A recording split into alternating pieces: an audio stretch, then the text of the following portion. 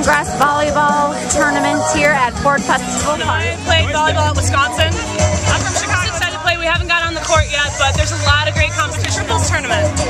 Awesome. And is this your first time?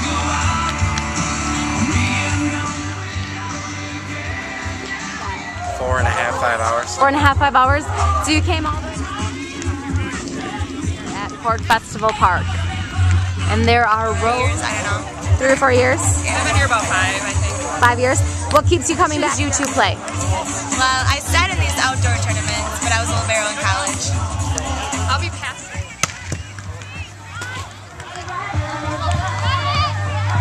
The Vismore need to do a quick interview with me. I'm here with Shannon Volleyball, I Rose. mean, some of the best volleyball around the country.